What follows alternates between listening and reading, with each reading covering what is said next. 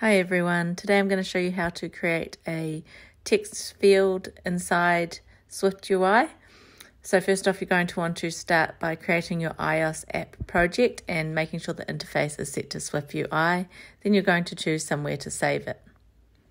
That's going to open up your app and it's going to default to that content view.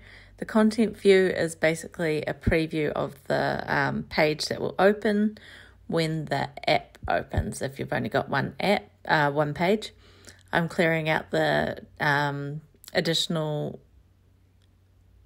um, views inside the VStack that I don't want to include, so the image, and it may just take a little while to load up because it's the first time opening Xcode today. So once it's loaded, you can go ahead and make some changes. You're going to want to have a state variable, and that's going to basically be the value that is going to be the default for your text field. Um, if you didn't provide a default, then it would default to, then you could like default it to nothing. Um, and basically, when that value changes, it's going to trigger the um, change on screen and also re render anything that relies on that state variable. So I'm creating my text field and I can give that a little title. I'm just going to say that's called name and then I'm passing in the default value which is going to be my state variable. I can reference that with the dollar sign there.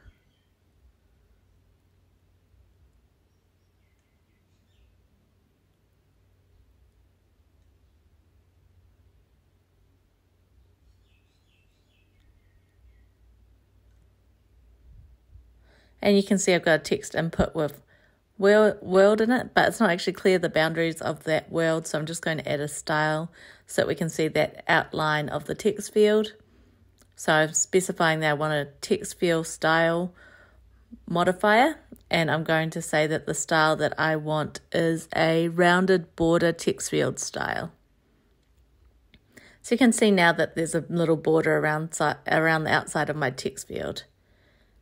And then in this hello world text, I actually want to display the name that's been entered into the text field. And this is just showing you how you'd get the value back out of the text field.